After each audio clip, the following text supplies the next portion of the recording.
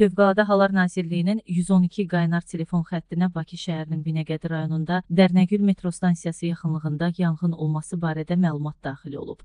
Nazirlikdən bildirilib ki, məlumat daxil olduqdan dərhal sonra FHŞ-nin Dövlət Yanğından Mühafizə Xidmətinin yanğından mühafizə bölmələri çağırış üzrə cəlb olunub. İlkin məlumata əsasən təkər tullantıları yanır. Hal-hazırda yanğın söndürmə işləri davam etdirilir.